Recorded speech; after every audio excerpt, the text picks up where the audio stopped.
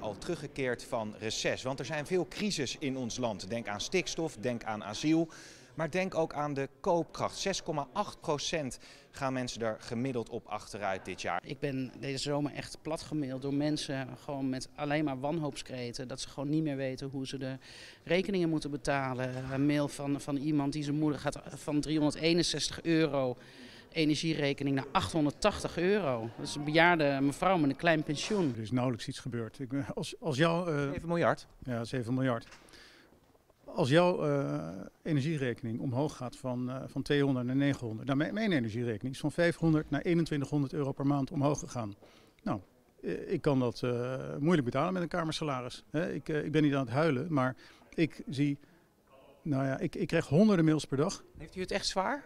Nee, ik heb het niet zwaar, maar ik, ik, ik zie wel honderden mensen per dag. Ik, ik, ik krijg veel eh, mails van studenten. Het is natuurlijk onzin als KLM of een bank eh, of bedrijven in financiële nood zitten. Dan weet het kabinet binnen een weekend vaak miljarden vrij te maken. En het kan niet zo zijn dat onze mensen in Nederland die echt een hele koude winter tegemoet gaan, vaak geen geld hebben om de energierekening te betalen, boodschappen te betalen. Alles wordt duurder en duurder. En gewoon gezinnen, eh, niet alleen de minima, ouderen, modaal, zelfs tot twee keer modaal toe trekken het niet meer.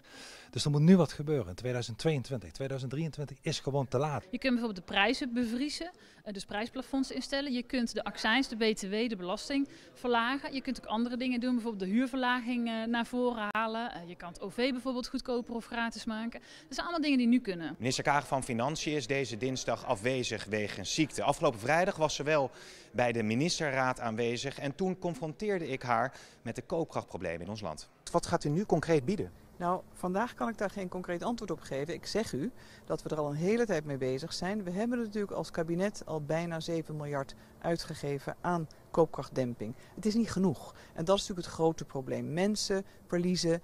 Je hoort alle verhalen dat mensen niet kunnen rondkomen. Dat is vreselijk. De armoedeval voor velen en ook voor kinderen is natuurlijk iets wat niet bij Nederland past. Dus we werken eraan. Tegelijkertijd moeten we kijken korte termijn en langere termijn. We kunnen niet alles wat we verdienen uitgeven. We moeten daar verstandig mee omgaan. Als het gaat over eh, geld, eh, dan zegt Kaag van nou, de rekenmeesters zeggen mij ook van dat dat de inflatie alleen maar kan aanwakkeren. Het is altijd lastig als de inflatie hoog is als je geld in de economie stopt. Alleen we moeten wel huishoudens nu helpen, omdat het alternatief veel slechter is. Als we er niet voor zorgen dat mensen gewoon hun boodschappen, gewoon de basics kunnen betalen, ja, dan gaan er heel veel mensen onderuit. Dan kunnen mensen, kinderen niet meer naar de sportvereniging. Dan gaan er kinderen, nog meer kinderen zonder ontbijt naar school. Dat vind ik onacceptabel.